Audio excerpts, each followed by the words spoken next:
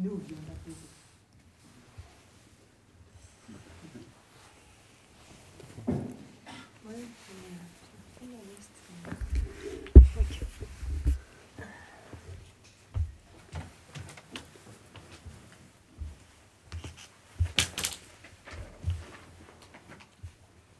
Philippe, il, va devoir, il aura besoin d'une chaise ou pas? Ah non, normalement il a son banc. Euh, Oui, il a, oui, il a son banc. Très bien. On peut pousser le banc si tu veux. Peut-être qu'on peut sortir une chaise. il c'est juste pour te dire que t'es- on s'il en a gêne, on peut l'enlever. Ah, Comme ça. Mais c'est pas grave. Alors bonjour à toutes et à tous. Voilà, bienvenue ici. Ici c'est chez vous. C'est bien ça. Vous êtes bienvenus chez vous. Vous êtes bienvenus chez vous parce que vous êtes beaucoup à être chez vous. Donc euh, bienvenue chez vous. Et puis bienvenue ici à la Maison Verte. Euh, voilà. Donc nous sommes euh, tous ensemble pour méditer ce lundi matin. Belle, mani- belle manière de commencer la, la semaine. Pour placer l'esprit, oui, en fait, il est un peu question de ça quand même.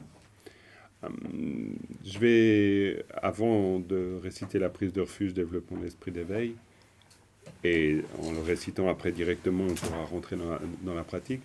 Je rappellerai peut-être ce qu'on appelle euh, semné luné, c'est très simple, c'est les points clés du corps et les points clés de l'esprit. C'est pas grand-chose dans les textes classiques. Après, il peut y avoir des développements très profonds et subtils sur, par exemple, la posture et l'incidence qu'elle a sur les souffles, l'énergie du corps. Ça, il y a des tas de choses qui sont en relation. Et donc, du coup, ben, ces points clés du, du corps, on parle de la posture en sept points de Vairocana. Alors, à tenir, c'est pas simple parce qu'il y a, le, le- le problème des jambes croisées en lotus. Mais il faut pas non plus en faire une fixation parce que vraiment, c'est la posture observée par euh, les yogis, yoginis très entraînés. Mais à part ça, il y a quelques points intéressants nous, on peut observer. C'est euh, par exemple la colonne vertébrale droite. Donc ça, c'est intéressant parce qu'on peut tous et toutes le faire. C'est les épaules ouvertes, c'est-à-dire qu'on ne médite pas voûté en avant. Et c'est évidemment une, question de disponibilité hein, aussi à la présence. Et c'est forc- forcé que si on méditait comme ça, ça ne veut pas dire qu'on n'est pas là, mais on est là d'une manière plus relâchée. Donc il faut trouver un, équilibre. Ce n'est pas non plus une rigidité, absolue, c'est juste une tenue du corps. Euh, donc colonne vertébrale. On parle aussi de la posture de la bouche, elle est intéressante. La posture de la bouche, on va dire, ni fermée comme ça, on n'est pas non plus fixé, ni ouverte. Donc on parle de vraiment entre deux, avec l'idée de toujours, il y a un terme qu'on retrouve dans ces instructions classiques, c'est rangbab. Et rangbab, ça veut dire poser tel que c'est. C'est-à-dire il y a quelque chose de l'ordre de l'état naturel, on pourrait dire. On laisse, euh, voilà, la bouche. Elle est légèrement entrouverte. Après, il y a la langue, idéalement, qui va toucher le palais. Alors ça, c'est aussi une raison pratique. Un jour, j'ai entendu Zong dire, c'est aussi pour faire que si la bouche est entrouverte, puis il y a un insecte qui vient, il ne peut pas rentrer plus loin. Donc, mais à mon avis, ça, c'est vraiment la tradition des yogis hyper pratico-pratique, parce que c'est plutôt lié, je pense, à des techniques de yoga, où on va placer, la, la- la- on va utiliser la langue pour euh, appuyer sur un canal subtil. C'est lié aux énergies internes, certainement. En tout cas, j'ai ri- rien vu dans les textes classiques qui dit que c'est pour empêcher qu'on ait les mouches qui rentrent. Ça, non, j'ai jamais vu ça. Donc voilà. Mais bon, pourquoi pas, hein, cela dit. C'est peut-être, c'était peut-être une blague aussi. Donc voilà. Euh, après, un point intéressant, c'est les yeux. On parle des yeux mi-clos. Alors, mi-clos, bah, comme euh, ah, l'image, Dominique qui dit l'image qui fiche sur Zoom, ça, je pense que ça vient de, de la connexion, qui n'est pas terrible ici, mais bon, va falloir faire avec. Après, de toute façon, c'est enregistré, je mettrai le replay en très clair, ce qui fait que vous pouvez reméditer avec l'image qui est fluide. Donc, c'est parfait. C'est très bien. Donc. Après, les yeux mi-clos. Et les yeux mi-clos, c'est euh, l'idée qu'on n'est pas non plus complètement tourné vers l'intérieur. C'est vrai que si on développe une qualité de concentration, c'est plus facile d'avoir les yeux complètement fermés, c'est possible. Mais si on veut développer une qualité de présence, c'est bien d'avoir les yeux mi-clos. Pourquoi? Parce que ça nous porte moins à partir dans nos, volute intérieure. Parce que quand on a les yeux fermés, ça peut aussi mener à la rêverie, à la, à la distraction interne. Si on a les yeux mi-clos, ça veut dire qu'on garde en fait ce, ce regard. C'est pas qu'on regarde les choses, c'est juste l'idée d'une ouverture. Étonnamment, dans les instructions classiques, euh, on fait un lien très clair entre la posture des yeux et les canaux subtils, c'est les, les énergies subtiles. Et c'est intéressant parce que même à notre niveau, effectivement, le regard est lié à notre état de- d'esprit, on pourrait dire. Si on a les yeux complètement écarquillés regardant quelque chose, ça traduit aussi des états d'excitation intérieure ou des états de concentration intérieure. Peut-être qu'on peut aussi imaginer que, euh, et c'est plus fort que l'on ne l'imagine justement, que le regard po- posé sur des images qui bougent tout le temps peut avoir des incidences très fortes sur les canaux subtils. En tout cas, à l'époque, il n'y avait bien sûr pas d'écran ni rien de ce genre, mais il y avait une grande importance donnée au regard, parce que ça vient avoir une incidence sur le corps intérieur et le corps subtil aussi. Voilà, je dis pas ça pour qu'on ferme absolument les yeux, on les ait absolument mi-clos ou pas. C'est juste être attentif au fait que chaque point de la posture a une importance intérieure sur l'état de notre esprit. C'est comme ça qu'on le conçoit. Et puis, après les, euh, ce qu'on appelle lunés, c'est-à-dire les points clés du corps, il y a semnés. Et semnés, c'est les points clés de l'esprit. Et là, c'est encore plus simple d'une certaine manière. Alors après, les incidences, elles sont aussi extrêmement nombreuses. Une des instructions les plus essentielles, et c'est celle que je rappelle souvent, c'est l'idée de n'avoir ni les pensées qui reviennent vers le passé, ni euh, les pensées qui courent vers le futur ou qui anticipent, et pas non plus une, une volonté absolue de vouloir saisir un présent. Donc c'est vraiment l'idée d'être au-delà des trois temps. Alors ça peut sembler un peu philosophique comme ça quand on dit au-delà des trois temps. Et c'est pas hum, très simple à comprendre. Mais en même temps, au-delà des trois temps, ça veut dire que euh, si on observe bien son esprit, on est en général coincé dans les trois temps. Pourquoi? Parce que quand on se met à penser au passé, ben on est au passé. Et puis, alors on est au, on est au présent évidemment, parce qu'il n'y a, pas- a pas de passé. Le, le- le passé ne se pense qu'au présent, c'est quand même énorme tout de même, quand on y, quand on y réfléchit deux secondes. Euh, on est toujours au présent. Mais ça, on ne le sait pas. Donc ça veut dire qu'on est dans l'imaginaire du passé. On n'est pas du tout dans la réalité du présent. Si ce n'est prendre conscience de cette divagation, auquel cas on revient au présent. Donc la, conscience des distractions de l'esprit, c'est elle qui va nous permettre de revenir. Ça ne veut pas dire qu'il faut absolument pas être distrait, ça serait très difficile, euh, parce que ça voudrait dire qu'on maîtrise complètement les pensées qu'on va avoir. Bon, on pourrait l'imaginer, mais c'est difficile. Par contre, d'être attentif, présent aux pensées que l'on a, si on se voit partir dans le passé, ben, se souvenir que c'est une production à l'instant. C'est pas le passé, c'est une production de pensée maintenant. Maintenant, attention aussi, toutes ces instructions de méditation, elles sont valables dans le corps de la pratique. Elles ne sont pas forcément valables dans la vie de tous les jours. Dans la vie de tous les jours, il y a des tas de moments où on doit penser au passé, où on doit anticiper le futur, on prend des rendez-vous dans notre agenda, donc euh, il n'y a pas de... Ça, j'ai toujours aussi entendu la Matozong dire attention, les instructions, elles sont faites pour le moment de pratique. Parce qu'après, sinon, ça peut être trop compliqué. Mais voilà, l'instruction, elle est intéressante pour nous. Être au-delà des trois temps, sans que ça devienne une, complication non plus mentale, euh, l'idée euh, d'être au-delà des trois temps. Il n'y a, pas un, un état particulier non plus à rechercher. C'est simplement une façon de dire se rendre compte des mouvements de l'esprit et chaque fois revenir à l'observation du mouvement. Parce que l'observation du mouvement nous sort du fil du scénario. Souvent, euh, Pema Chodron, dans, dans ses livres que j'aime beaucoup, elle, elle- parle de lâcher le fil de l'histoire, d'une certaine manière. Donc en revenant au présent, mais au présent, à l'instantanéité, il n'y a pas non plus un présent qu'on fixe, à l'instantanéité, à ce qui se produit maintenant, eh ben, on lâche le fil de l'histoire. Et lâcher le fil de l'histoire, c'est beaucoup, vu qu'on est enfermé souvent dans le fil de notre histoire.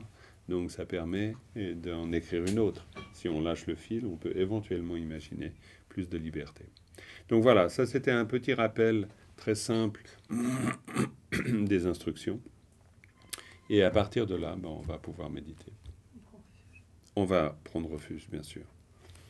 sāṅgē chūtāṅ tsōgē chōnā lā chāṅ chūṅ parātō dāne chāp sōchī dāgē jēn tsōgē pē sānāṅ kēm rōlā pēñchī kē rōṅ pārāi shū sēm chēn tāṅ chēn dēvā tāṅ dēvē chūtāṅ dēn pārāi chūchī dōng dōng dōng gē jō dōng dōng wā rāi jū jī dōng mē bē dē wā dōng bā dōng mē dē wā jū jī nye rīng jā dāng nye dāng dē wē dōng yāng jam bā bā jū jī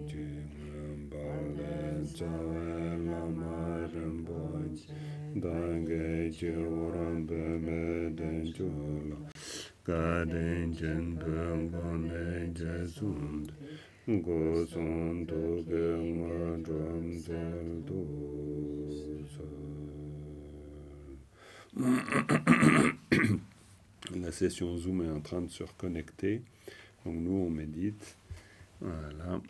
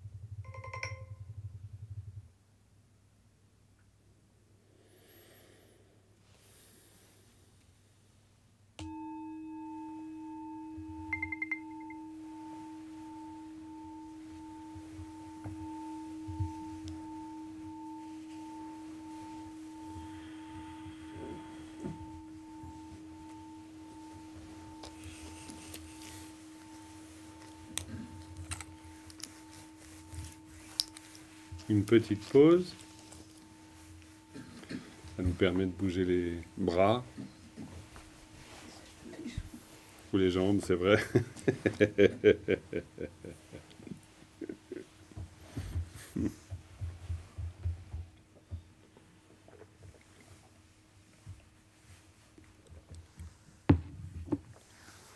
Voilà, c'est tout simple. Hein.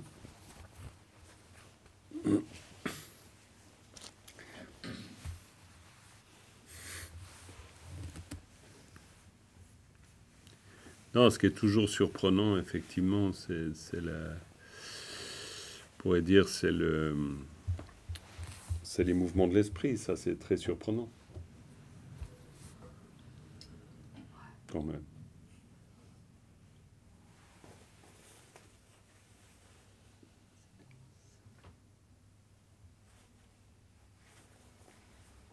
C'est pour ça que j'aime beaucoup cette instruction qui consiste simplement à rester, parce qu'on voit bien qu'au sens, euh, au sens propre, bon ben d'accord, on reste là, oui évidemment, mais au sens figuré ou intérieur, euh, c'est pas si évident de rester quelque part en fait.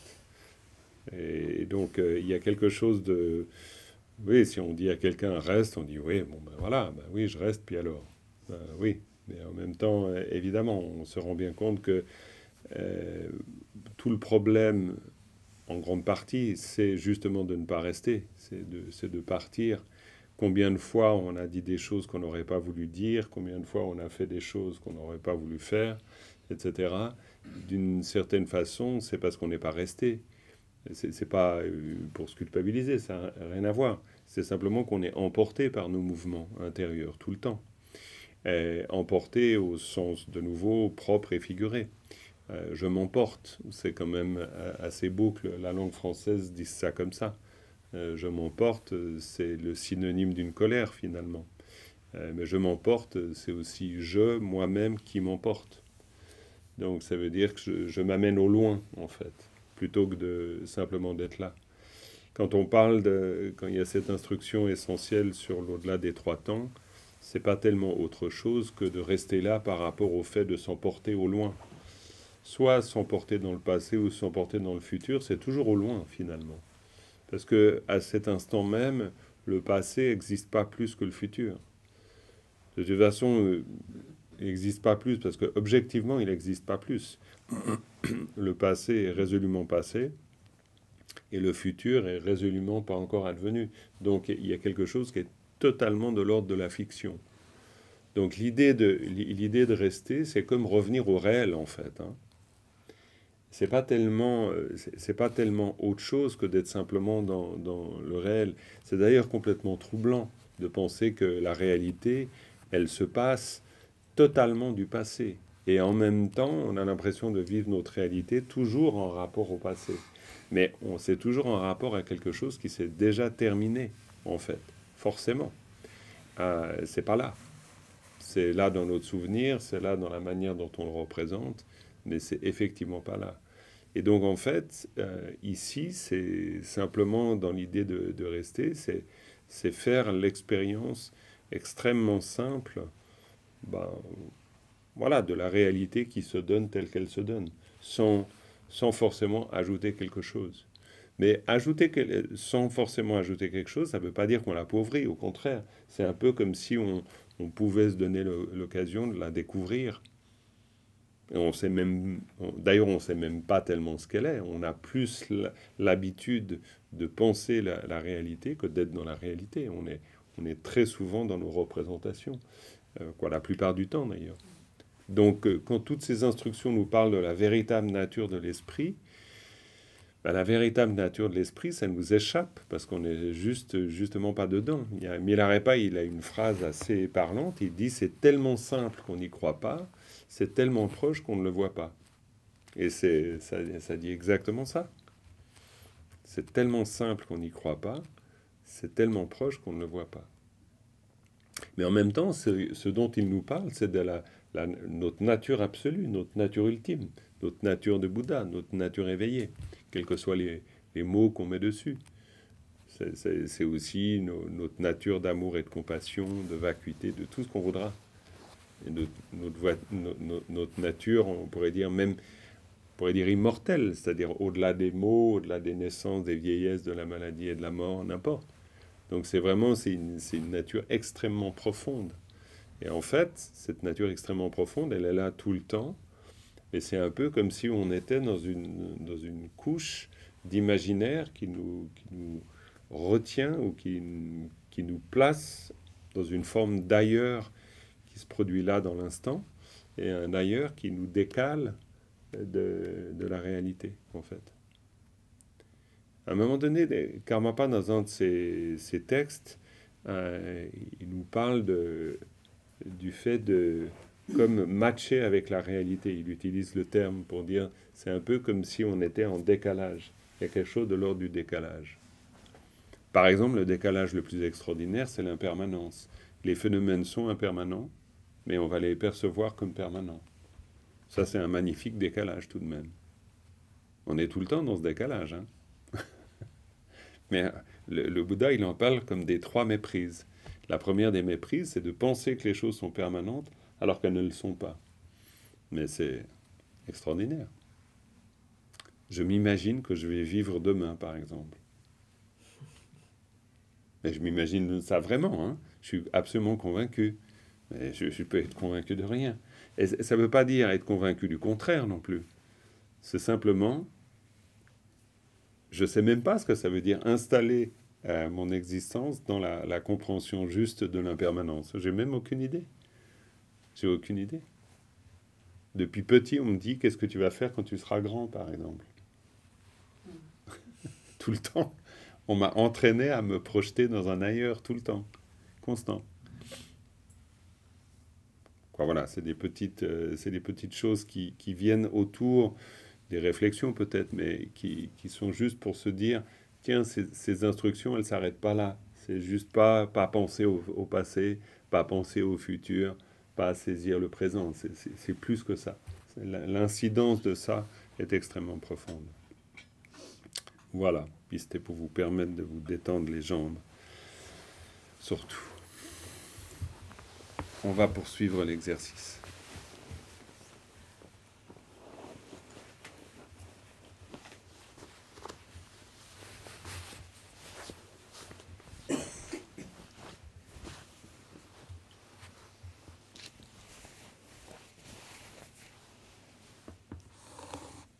Il fait frais. Un vrai yogi, tout le monde dans sa couverture.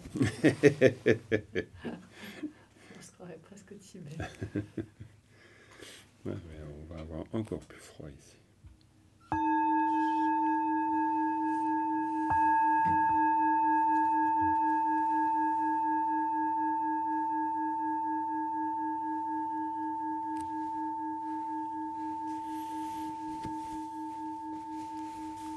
Tu peux, baisser un peu.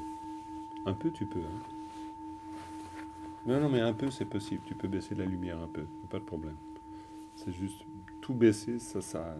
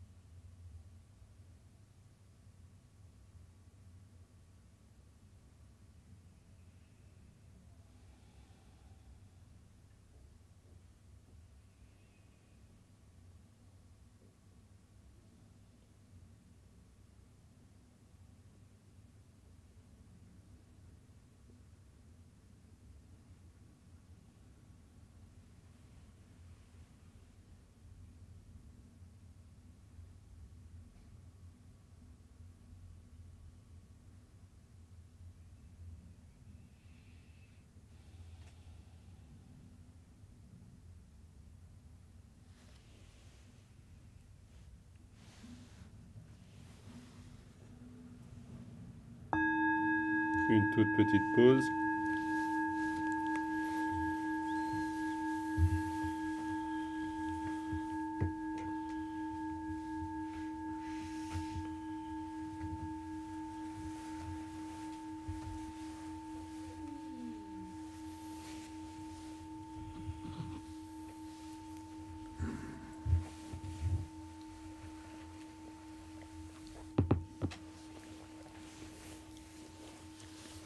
Un bon exercice, c'est de compter les va-et-vient du souffle. hein. Ça, c'est un très bon exercice. On compte une respiration, donc expiration, inspiration, ça fait une, et ainsi de suite, et jusqu'à 21. Et si on se trompe dans le décompte, on recommence euh, au début. Si on se trompe dans le décompte ou si une, une Non, pensée arrive? c'est une pensée. Ah, si une pensée arrive, en fait. Bah, en fait, si une pensée arrive, en général, on, on- on se trompe dans le décompte. Ah ouais. Je t'écoute, je sais plus où t'en es dans la compte. Ouais. Ou ça continue à c'est tout seul, mais toi, pensées. t'es plus vraiment là. Ah, si ça continue à con- a une pensée, je recommence. Oui. Bah, alors, attention, le, le- le but du jeu, Le, le but du jeu, c'est de c'est de pas non plus euh, supprimer les pensées. C'est pas ça. Il faut, faut le comprendre comme une, on va dire, une- un exercice qui facilite l'attention. Il faut pas non plus euh, tout à coup ça devienne une tension intérieure en se disant ouh là là, faut absolument non. Non, non, il, y a- de toute façon, il y a des mouvements. Il va pas y avoir pas de mouvement. Mais c'est simplement un moyen de, bah, en fait, euh, bah, souvent, encore une fois, j'ai entendu la Matanzang en parler comme d'un pense-bête. Euh, pense-bête, c'est vraiment, bah, il, il utilisait cette image, mais qu'on a utilisé chez nous, c'est le fil qu'on met autour d'un doigt, et puis euh, du coup, c'est un pense-bête. Parce qu'on se dit, mais tiens, pourquoi j'ai mis ce fil? Ah oui, c'est à cause de ça. Donc, euh, c'est un rappel, c'est juste un rappel. c'est pas autre chose que ça non plus. Ok.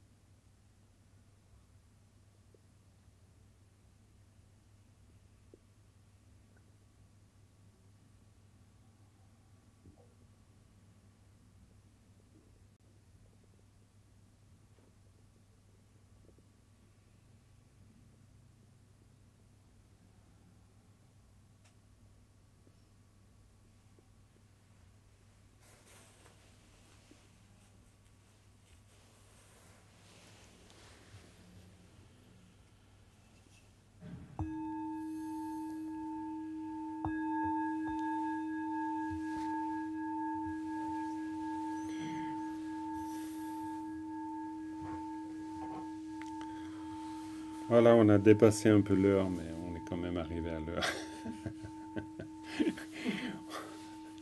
Très bien. On va conclure avec une dédicace et puis on arrêtera là pour la pratique du calme mental de ce matin.